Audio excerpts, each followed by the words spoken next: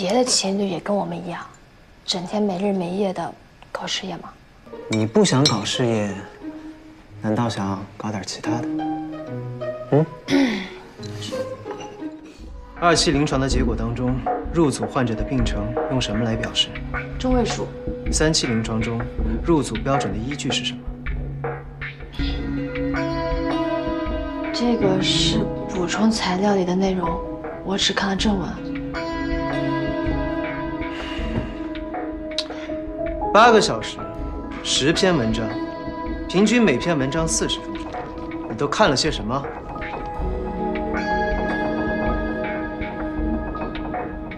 不管是正文还是补充材料，这些内容对于评价一个研究都是非常有用的，都是非常重要的。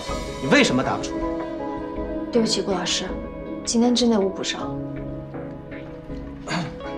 顾老师，知道您一向要求严格，可是苏同学毕竟连研究生都没读完，第一天上班就给人家布置这么多任务，做成这样已经很不错了。他跟其他人来比。做成这样确实已经很不错了，但是他自己的实力远远不止如此。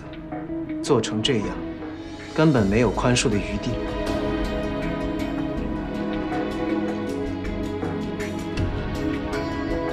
素媛，如果你拿不出实力，就永远只能被人诟病靠关系。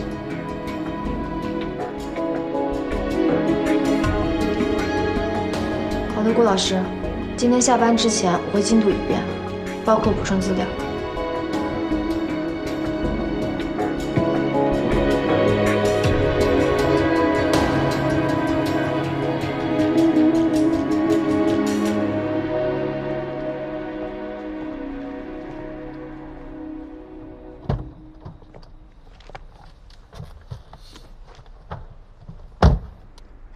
我排了老长队才买到的。老板。你学过变脸呐？一下班判若两人。什么老板？你才是老板。我怎么敢呢？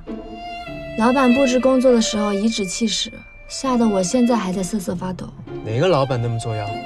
我帮你收拾他。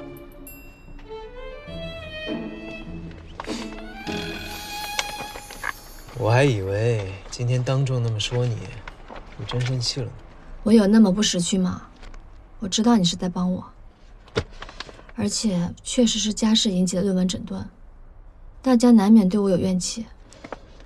不过呢，你对我越严厉，大家就会越同情我。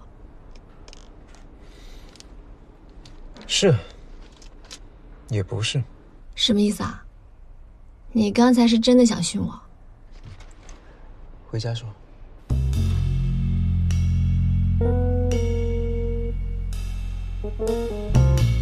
先吃，吃完再说。先说，说了再吃。